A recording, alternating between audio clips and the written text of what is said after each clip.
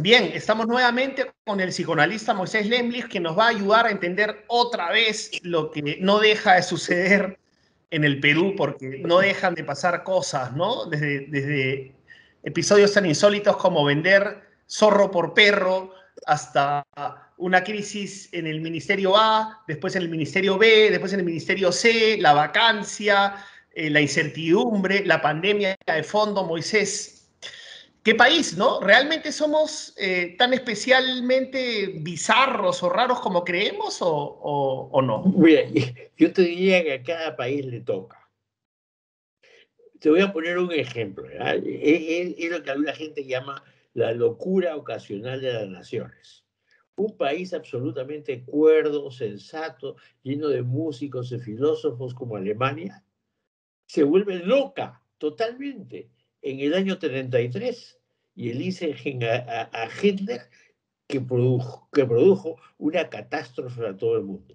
Entonces, de pronto, un país que estaba bien organizado, simpático, como Yugoslavia, se rompe en mil pedazos, unas masacres espantosas, gente que era vecina se matan entre ellos. ¿No es cierto? Es como que si hubiera una ruleta misteriosa en que los dioses o los demonios, no sé, se ríen un poquito y hacen sus apuestas, como aquí casillero entrar el cuy. Yo creo que es así, Dios y el diablo jugando y haciendo sus apuestas, como efectivamente la Biblia te dice que lo hicieron con Job. Entonces, nos ha tocado ahora un periodo. Claro, hay algunos que son más piñas, países que son más piñas, y les toca el numerito negro en la ruleta más veces. ¿ya? Pero ni siquiera Estados Unidos se ha escapado de sus épocas terribles como la guerra de sucesión, eh, la guerra de secesión de los Estados Unidos, digamos, a mediados del siglo XIX. Yo, cada país le toca, o España con su, con su guerra, y de, de, pronto yo creo que el problema, el problema en Perú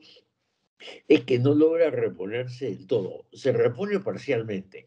¿Y qué pasa? Que el Perú no es un país, pues, ¿no? Es un territorio. Ajá. No es una nación. No, no, no, ni siquiera, es decir, de que no es una nación, no es una nación. Está compuesta por infinidad de naciones, pero ni siquiera se ha consolidado como un país. Ajá. Eh, no hay una arquitectura política adecuada. Además, ¿no? Eh, digamos que bien sabido hablando quechua para demostrar qué cosa, ¿no? Ni siquiera es el idioma mayoritario, ¿no? Sí, muy honorable el quechua, pero, pero la verdad es que muchísima gente que puede ser de izquierda o derecha no se va a sentir representada por eso. Él está haciendo un punto. Entonces, para mí es un punto de la fracción, estos rompecabezas múltiples, un rompecabezas de infinidad de naciones que no se logran integrar pero tampoco como estructura política se logra integrar. Entonces, ¿qué pasa? Un intento bien intencionado, ¿no? En la época de Toledo hace que se hagan regiones, ¿no es cierto? Primero se llaman presidentes de regiones, ahora se llaman gobernadores, que son una catástrofe y todo el mundo está de acuerdo en una catástrofe, pero es una catástrofe imposible de arreglar. claro. Tú me, dices, tú me dices, ¿qué es lo que pasa en el Perú? Nunca se ha constituido realmente, ni como una nación o un conjunto de naciones que llegan a un tipo de arreglo, puede ser Suiza, por ejemplo, ¿no es cierto? Y más bien, fíjate en Bélgica, que, los que hablan francés y los que hablan flamenco se andan peleando, o Checoslovaquia, que acaba dividiéndose en dos países. O España. O España, que vamos a ver si los bancos o los, ¿no, es cierto? Eh, eh, o los catalanes se acaban separando. Muy, Aquí no hay tanta la intención separatista, excepto como hubo en Loreto, pero nunca nos hemos construido, ni como Estado, ni como nación, ni como país. Entonces, nos hemos inventado un espacio geográfico que se llama Perú, ¿no es cierto? Y cada uno busca cómo miércoles organizarlo de acuerdo a sus propios intereses. Pero encima de ese rompecabezas de estructura política, hay un rompecabezas de ideologías, ¿no es cierto? Que de pronto, ¿no es cierto? También a través de la ruleta acaban siendo mayoría, minoría, y un grupito que tenía 2% de pronto toma el poder y así sucesivamente. Antes de entrar a ese punto, antes de entrar a ese punto ya de las ideologías, ¿somos como se dice un Estado fallido, así de crudo? Yo no digo un Estado fallido porque nunca fuimos un Estado. Yo digo un Estado que no termina de construirse. Entonces, eh, la gestación ha producido un parto a medias. Entonces, somos un parto equivalente a cinco vecinos, ni siquiera siete vecinos, ¿no es cierto?, que todavía tienen que estar en la incubadora por cuatro meses, tres, cuatro meses, ¿no es cierto? O si fuéramos un marsupial, estar dentro de la bolsa del canguro por un tiempo. Claro. De que les hagan o, en un, o en un huevo. Ahora, ¿consideras que Perú es particularmente más inmaduro que nuestros vecinos? Bueno, mira, esa es una buena pregunta porque estaba justo conversando con unos amigos, como toda América Latina, excepto paisitos chiquitos, digamos. ¿Qué, ¿Qué paisitos son más o menos viables? Uruguay, que tiene 3 millones y medio de habitantes. Costa Rica. Costa Rica. Entonces, excepto un par de paisitos, mira, hasta Chile, que se quería la tapa, acabó siendo tan tapa. Entonces, Haití es un país que se creían la maravilla, se creían la maravilla con Pinochet, y se creían la maravilla por su democracia con la Bachelet, y se creían la, tapa también con Pinochet, eh, digo, con ahora... Con Piñera.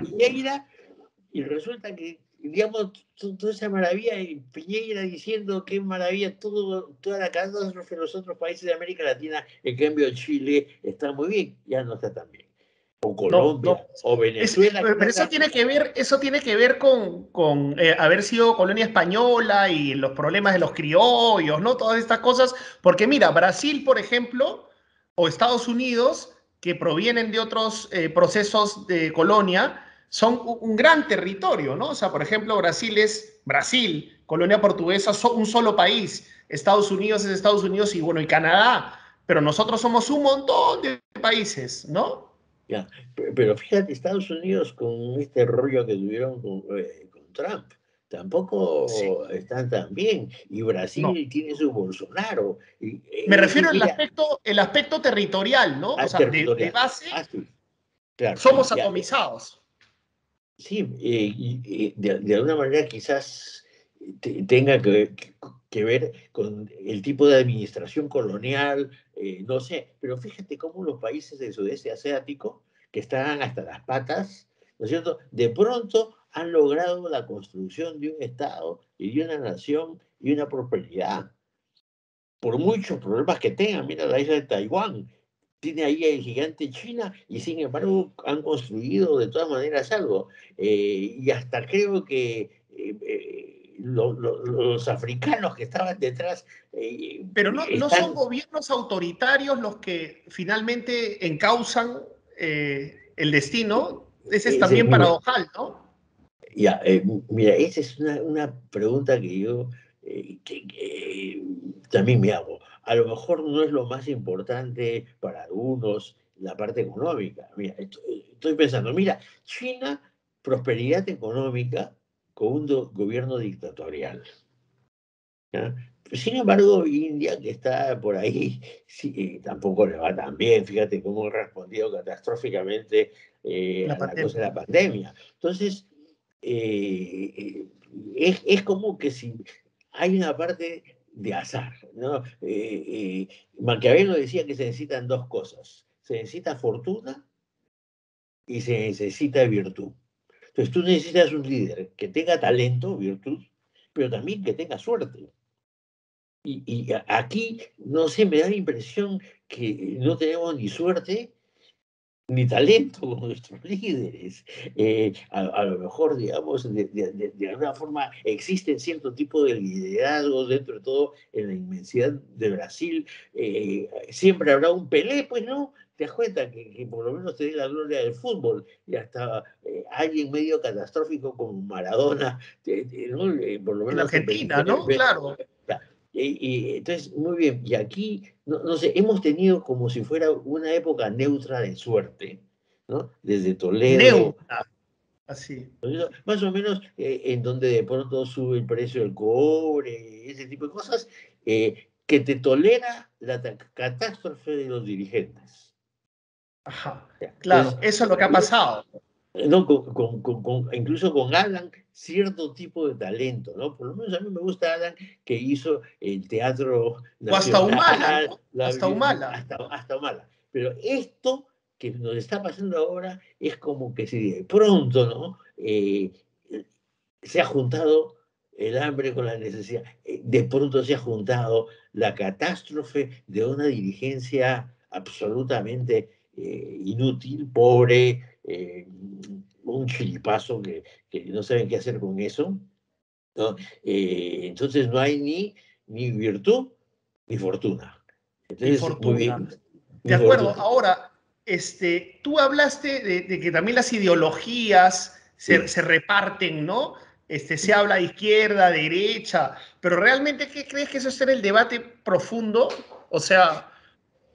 Eh, pero yo creo que alguna vez te comenté, nuestra derecha, ¿no?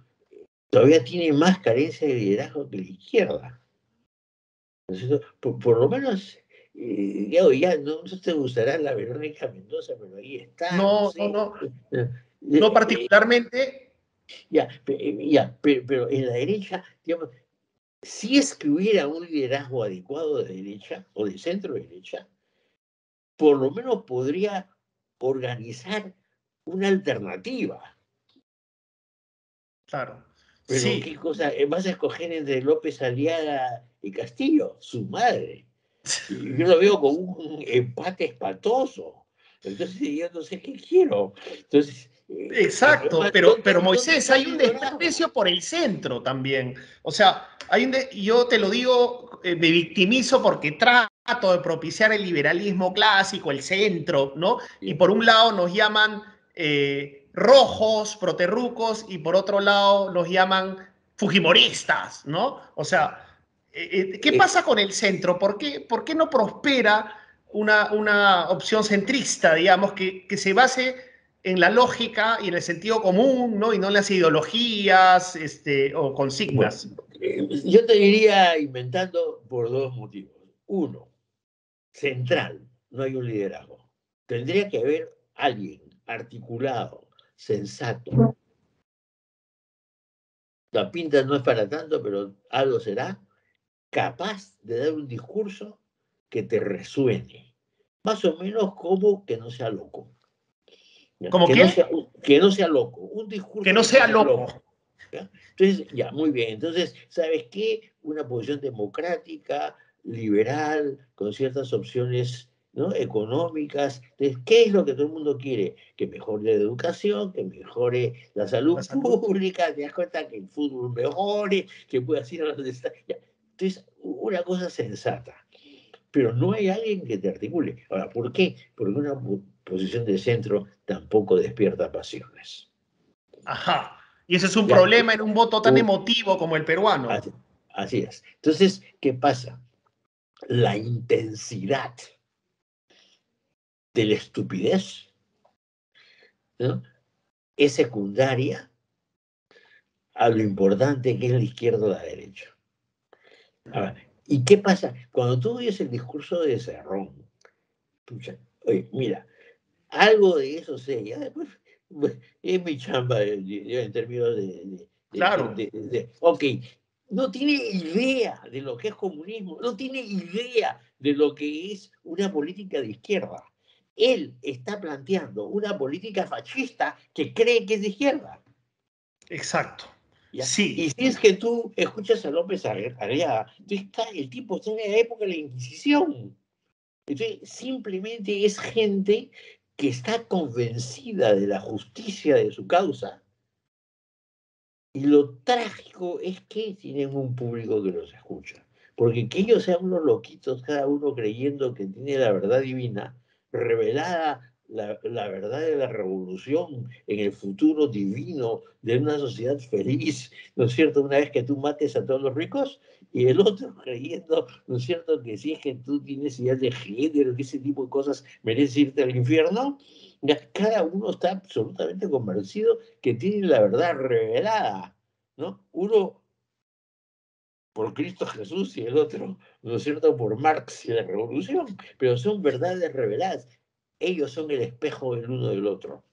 Claro, sí. El, problema no es ese, el problema es que eso como que si te toca la tripa. Hay un público que es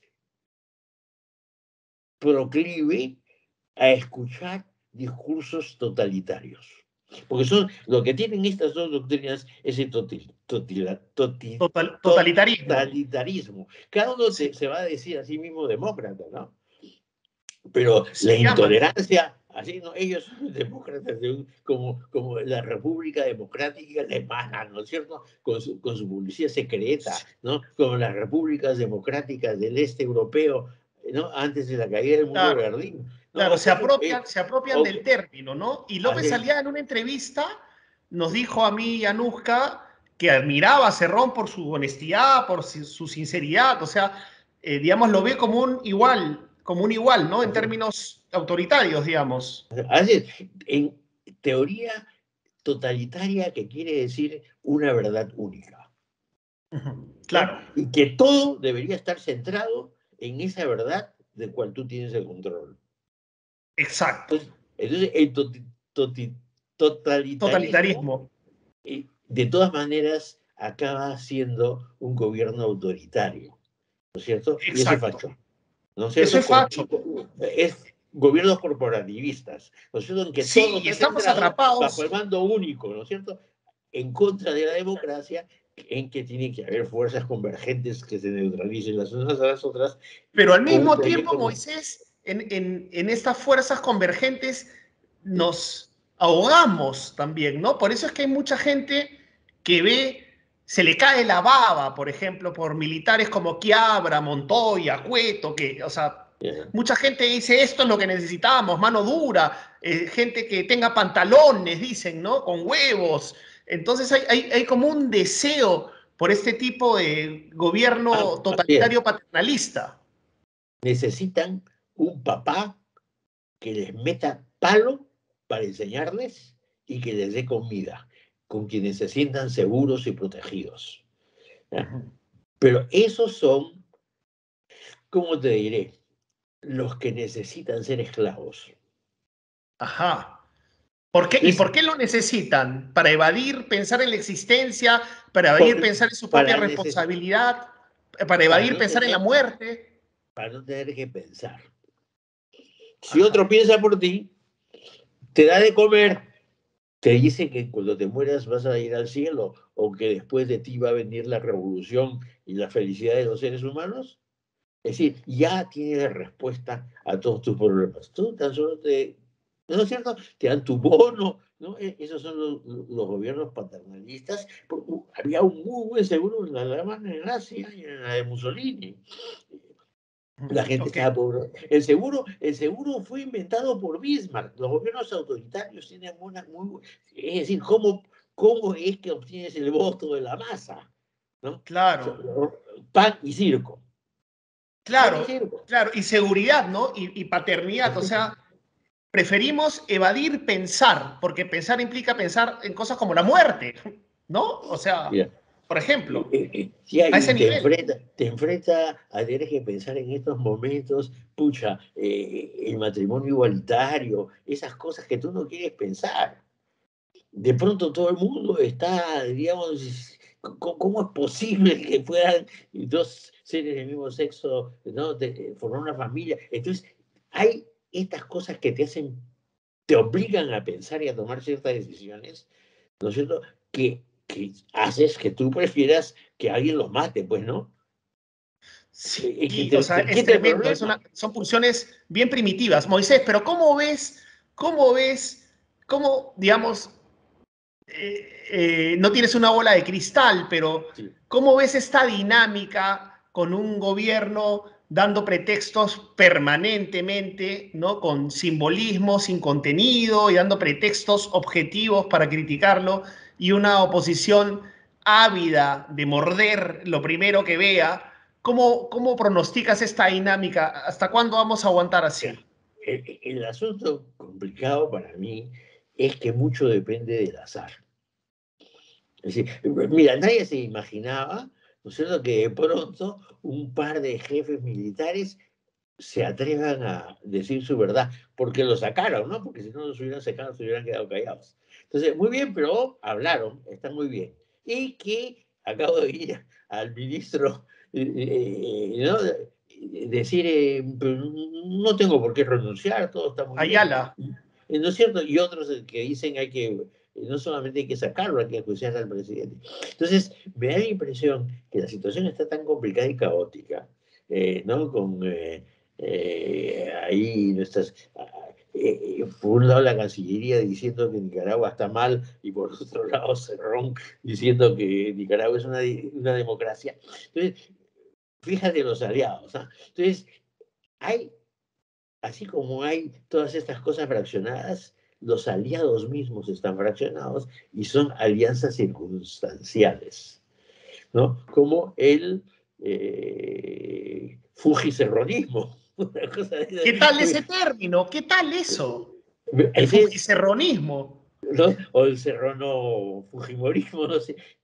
Simplemente eh, hay una parte de una masa desesperada para que los protejan y que no les fastidien la paciencia y les den de comer y que van a aceptar la esclavitud con tal de recibir sus prebendas, no su bonito y su cosa, lo que sea, que te da además la gran ventaja de no pensar, excepto, eh, no si Pablo Guerrero va a estar bien de su lesión o no va a estar bien de su lesión.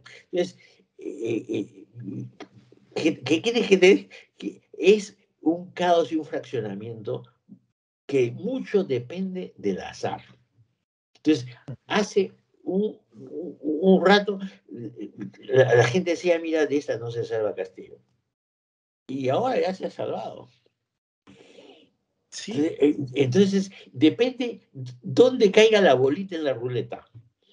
Pero qué complicado vivir así, ¿no, Moisés? Así es. Entonces, bueno, ¿qué pasa? Tú que eres un digamos, un formador de opiniones. Yo creo que uno de los caminos es que la gente tome conciencia de que se necesita una estructura política más o menos estable. Lo primero son instituciones más o menos estables. Así sea un club de fútbol, ¿no es cierto? o cualquier cosa en donde tú estés, eh, la asociación de vivienda de tu edificio, tienen que estructurarse de manera estable, más o menos y consistente. Ah, de ahí tendrá que salir algún tipo de liderazgo. No sé, a lo mejor, no sé, por ejemplo, eh, eh, Carlos Basombrillo. Entonces, yo te he dicho, o la gente que tiene responsabilidad y es capaz de hablar. Salvador del Solar, me dijiste alguna vez, por ejemplo. Alguna vez, muy bien, que pague sus culpas. Porque, Entonces, la gente más o menos sensata tiene que abrir el pico. Ese es tú me preguntas cuál es el camino. Cada uno tiene que hablar lo suyo. Y tú tienes que ir a preguntarle a la gente sensata. A lo mejor, digamos, dejar de, que eso sería injusto, ¿no? De eh, pedirle a los estúpidos que vengan a hablar quién es, quién es juez, ¿no? Pero de todas maneras, como que si de todas maneras darle más, más tribuna a la gente más o menos que tiene un sentido, ¿no? Y pueda decir las cosas como para que sean entendidas. Sin intereses particulares, eh, de, sin, esos intereses particulares que vemos tanto en los políticos. Eh, Moisés, eh, bueno, considero que estoy haciendo justamente lo que pides en este momento te lo digo con, cariño y admiración, por eso es que te entrevisto, justamente para, para ayudarnos a, aclarar tantas cosas. Ahora, ¿no es peligroso este simbolismo sin contenido de Castillo? O sea, porque, digamos, está desperdiciando una oportunidad de, reivindicación de la que hablábamos que tú no creíste nunca, ¿no? Pero, digamos... Yo, yo creí siempre que Castillo era un fraude. Desde el principio. Me, dio creo que hemos conversado eso antes de las elecciones también el tipo no tiene la menor idea de nada. Eh, entonces, eh, eh, si no, ¿cómo, ¿cómo pone cargos importantes a, la gente que pone? Entonces, eso quiere decir que el pata está en la calle. Entonces, simplemente tiene una idea baja y difusa. Y a mí me parece ¿no? que, que, que, que Bellido dijo bien cuando dijo que es un sindicalista básico. Yo creo que tiene absolutamente razón. Eh, Bellido tiene sus propios intereses, pero ciertamente no es un, básico como no es Ron. Tienen sus ideas muy claras. ¿Qué es lo que ellos quieren? La toma total del poder. ¿no? Como los soviets en Rusia. El Partido Comunista ¿no? hace todos los pactos necesarios y después mata a todos los que tiene que matar. Entonces los pactos que hizo ¿no? sirvieron para la toma del poder. Y una vez que tomas el poder, lo único que interesa es el poder, ¿no es cierto? Lo único que interesa es el poder y el poder nace del fusil. Okay. ¿Y, crees que Castillo también quiere, Castillo quiere como Cerrón tomar el poder para siempre? Castillo es lo que está queriendo sin siquiera tener la formulación. Peído y Cerrón tienen la formulación. Han leído sus textos marxistas, han leído seguramente unas cuantas cosas de Lenin o no sé qué, no sé, a los libritos chiquitos de Mao, no dudo, entonces sabe más o menos los pasos que hay que dar. Es un recetario. Entonces está siguiendo el recetario que llevó al triunfo a, a Hugo Chávez, ¿no es cierto? Y claro, a Daniel Ortega. entonces el recetario a veces no sale no pueda que ligue, pueda que no ligue. Entonces ellos están haciendo una apuesta que como ¿no? el destino los ayudó a las elecciones, van a utilizar eso como un camino para la toma del poder total. Esa es, la idea, ¿no? E, e, e, o sea, no es una sospecha conspiranoide, ¿no? es la idea. está muy claro y ellos lo dicen. Ahora, eh, el asunto, ¿no es cierto?, es que eh, se siente con el derecho. Como han ganado las elecciones, así sea por casualidad o así sea por antifujimorismo, no les importa, eso no interesa. Y si es que hay una inflación de mil por ciento, de dos mil por ciento, tampoco interesa. No interesa la ¿ah? pobreza. O que es lo que, no sé si tú has leído eh, las declaraciones de, de, Abimael Guzmán, habla de que se necesita un millón de muertos. Si se, se necesita un millón de muertos para la revolución, tienes un millón de muertos para la revolución. Complicado, complicado, ¿no? O sea, separando, el terrorismo de, este marxismo mariateguista, sí. O sea, como que están dispuestos a, sacrificar al propio pueblo para llegar al poder. Tampoco han leído bien a Mariategui. ¿eh?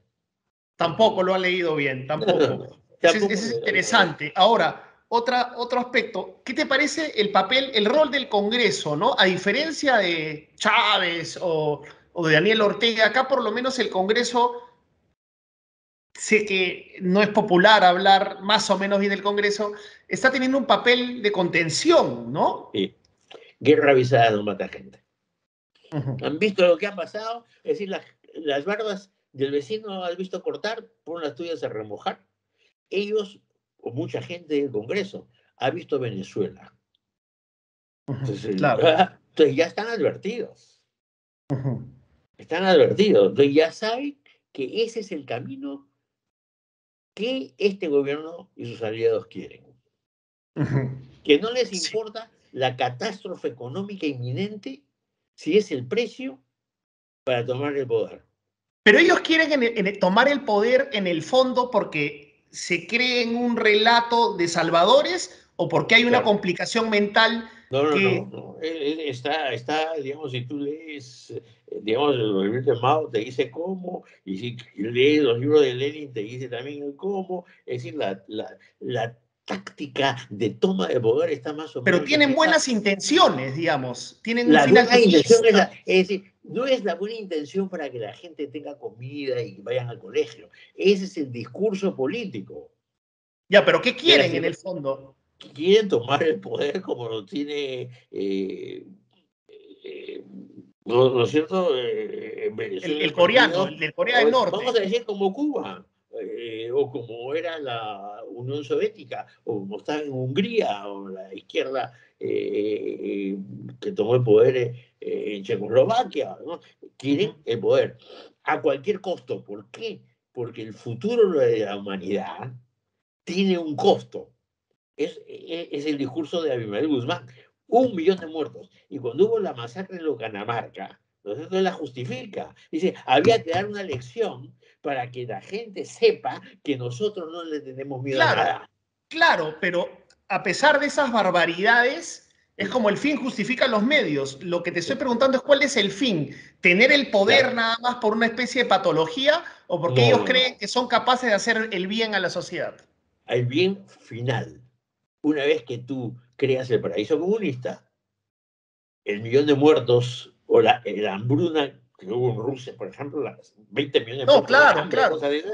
una vez que tú tomas el poder, ya viene el paraíso comunista. y nunca llegó a ningún lado, ¿no? Nunca se logró consolidar el, comunismo en ningún lado. O sea, nunca... el comunismo se consolida, se, se, consolida a través del capitalismo como en China. Entonces, lo, pues. Vietnam ahora. Entonces, el comunismo tiene éxito cuando llega el capitalismo. No hay otra, pero entonces no llega a ser comunismo, esta especie de paraíso terrenal donde todos somos iguales. Pero, bueno, el, el paraíso comunista es el equivalente al paraíso cristiano en que tú vas a estar a la diestra de Dios.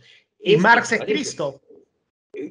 Exactamente, Marx es Cristo. Mira, tú sabes, la tesis, la tesis de Marx fue, fue ¿no es cierto?, una, tesis eh, sobre Prometeo, el salvador del mundo. que también eh, es eh, una figura equivalente a Cristo. A Cristo. Entonces, claro. Tú estás sirviendo al futuro de la humanidad. Ese es, ahora, claro que lo más hermoso de todo es que tú eres un representante y te das la autoridad y el poder terrenal de aquello que va a venir en el cielo o va a venir en la futura revolución. Entonces, eso es. Ahora, tú me preguntas, ¿qué es Castillo? Castillo vagamente ha escuchado estos rollos, me da la impresión. Tiene una idea, más o menos, ¿no es cierto?, de ser un instrumento para. Eh, eh, el, tipo anda en la calle, el tipo. El ejemplo para mí, el primer día de gobierno tiene el rey de España y lo tratan como si fuera pues el, hijito de la esquina, cuando es alguien que te va a dar plata, puede darte inversiones. Y lo trató como si fuera un, un Oye, tú eres el descendiente de nuestros explotadores. Totalmente fuera de foco. Eh, o, decir, eh, ¿sabes qué? No voy a vivir en el palacio, voy a vivir en mi casa. Totalmente fuera de foco. Entonces, ese es su nivel de comprensión de las cosas. Complicado. Simbolismo sin contenido, repito. Moisés, tremendo lo que dijiste que somos un territorio, pues somos un territorio, nada más que eso. O sea, que somos peruanos solamente porque alguien puso unas líneas, dibujó unas líneas con la historia que todos conocemos y estamos todos adentro de esas líneas, ¿no? Tremendo. Pero para, para terminar, este, ¿qué, ¿qué le dirías a la gente que piensa que una vacancia y nuevas elecciones serían la salida, eh, también como una especie de paraíso, eh, de escape a, la situación actual. a ver, ¿qué, dirías ahí? ¿a, quién vas a poner? ¿A quién vas a poner?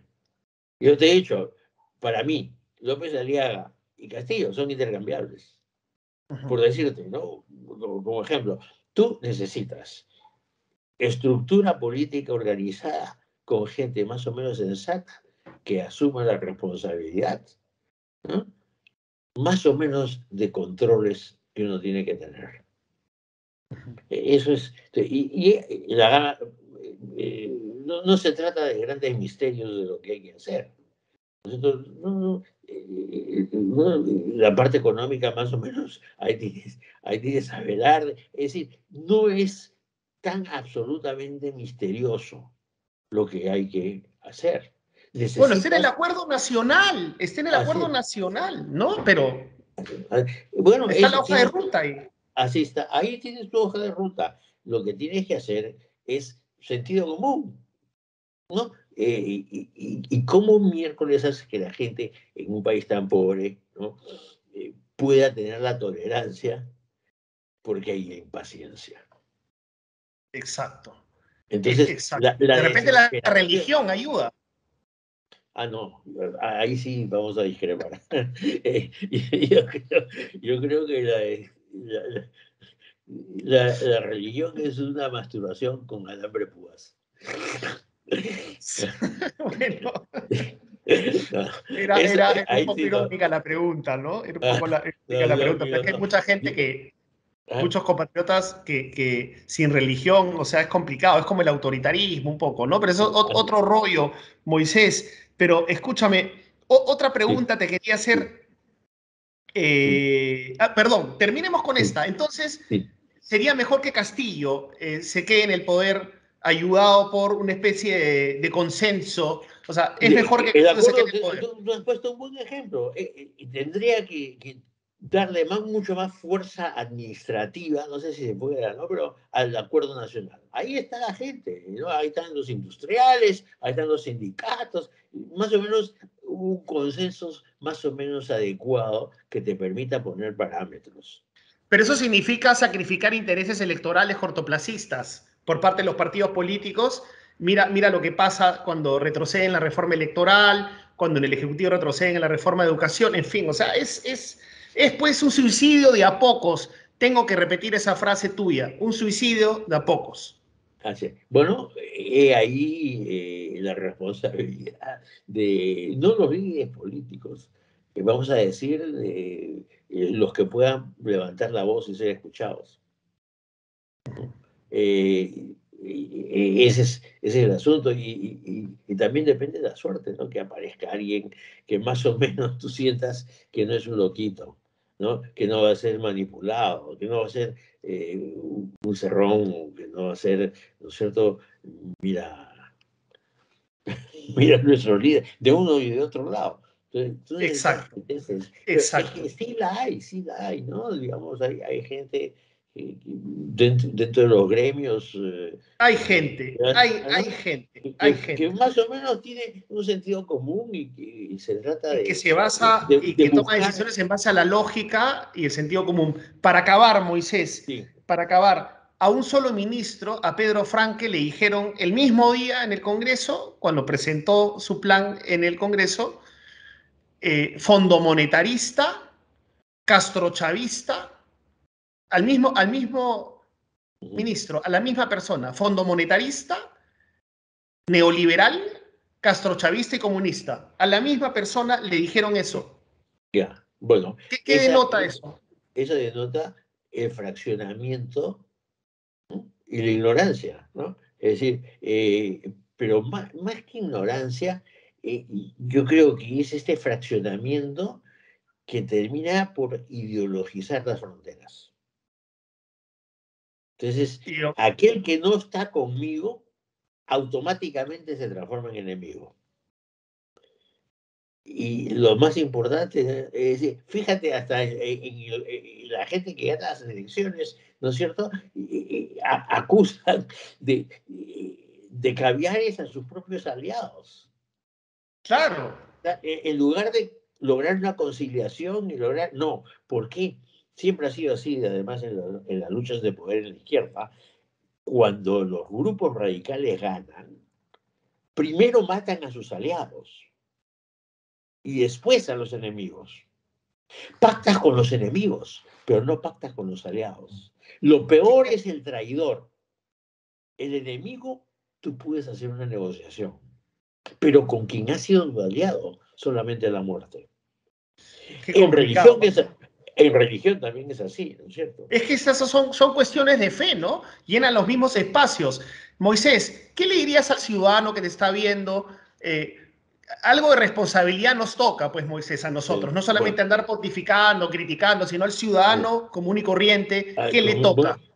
Bueno, el ciudadano común y corriente tiene que darse cuenta, ¿no es cierto?, que lo primero que tiene que hacer es pensar y leer y ver lo que está pasando no, no simplemente, digamos, dar una respuesta con el hígado cuando pones tu voto o cuando te pones a, chillar en la, plaza. Ya, sé que estamos fritos. No hay solución inmediata ahora. Vas a tener que seguir cambiando y teniendo paciencia. Piensa. Eso. Infórmate, ¿no? Así es. Así es. Perfecto, Moisés. Me quedo, me quedo con esa frase. Muchísimas gracias por estar en Epicentro TV.